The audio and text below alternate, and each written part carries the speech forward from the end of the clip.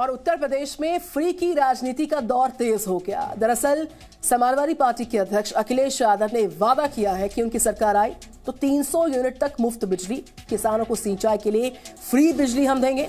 उनके इसी ऐलान पर सीएम योगी ने हमला बोला। सीएम योगी ने अखिलेश यादव को याद दिला दिया कि उनके समय प्रदेश की बिजली व्यवस्था ठीक है। इसी ऊपर सवाल अब यह है कि क्या फ्री वाला वादा वोटों की गारंटी को सुनिश्चित कर पाएगा? देखिए।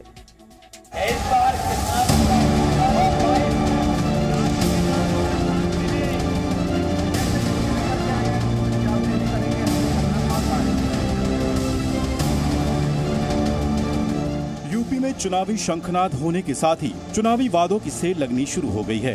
फ्री की राजनीति, दिल्ली से पंजाब होते हुए अब यूपी में भी आ गई है।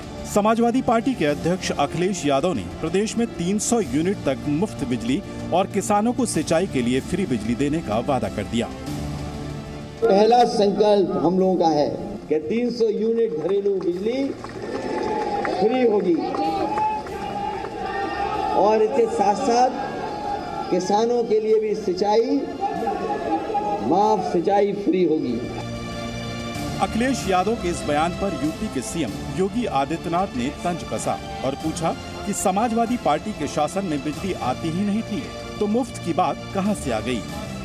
आज हम कह सकते हैं उत्तर प्रदेश में बिना भेदभाव के हर एक गरीब की झोपड़ी में भी और राजमहल में रहने वाले व्यक्ति के घर में भी बिजली हर समय जलती हुई दिखाई देती है।